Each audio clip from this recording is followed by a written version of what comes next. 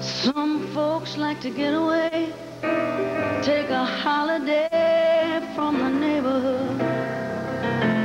Hop a flight to Miami.